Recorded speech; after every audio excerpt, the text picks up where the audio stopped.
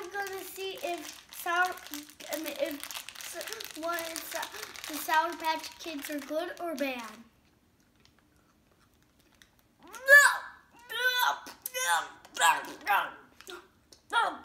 No, bad.